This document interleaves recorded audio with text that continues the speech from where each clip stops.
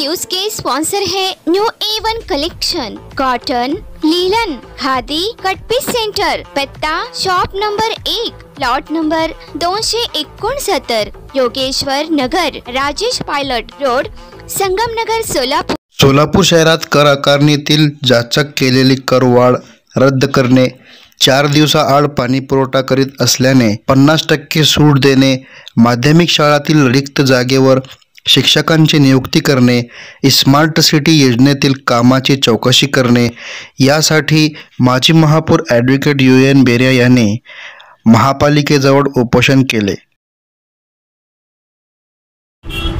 आज या ठिकाणी जे आपण आंदोलन उपोषणासाठी बसलो त्याचा उद्देश काय?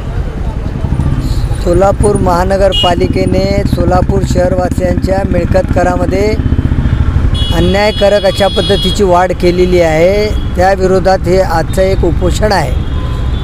महानगरपालिकेने मिळकत करात केलेली वाढ अत्यंत दुर्दैवी आणि बेकायदेशीर आणि चुकीची आहे. कारण मिळकत करामध्ये वाढ करण्याची आवश्यकता नाही. महानगरपालिकेच्या कर विभाग अधिकाऱ्यांनी गेली पंचवीस वर्ष रि रिव्हिजन केलं नाही. घरगुती आणि बिगर घरगुतीचे जे काही विभागणी आहे ती केली नाही. त्याचप्रमाणे ज्या नवीन बांधकामं झालेली आहेत त्या बांधकामाच्या नोंदी महानगरपालिकेच्या रेकॉर्डला नाहीत. महापालिकेने योग्य असा सर्वे प्रॉपर्टीचा केला नाही. त्यामुळे आजही शेकडो मिळकतीची कर आकारणी सदरी नोंद नाही. जर या सगळ्या वेळेवर केल्या असत्या तर जवळजवळ शंभर दीडशे कोटी रुपये महानगरपालिकेला उत्पन्न मिळालं असतं वार्षिक.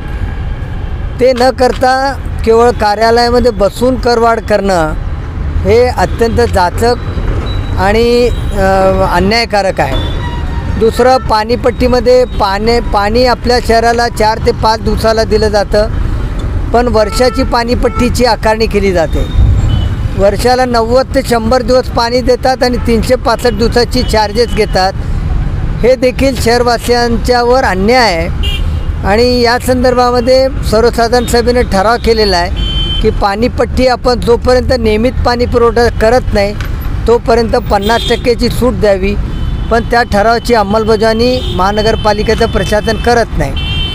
स्मार्ट सिटीमध्ये झालेली कामे अत्यंत निकृष्ट दर्जाची झालेली आहेत अशा तक्रारी आहेत.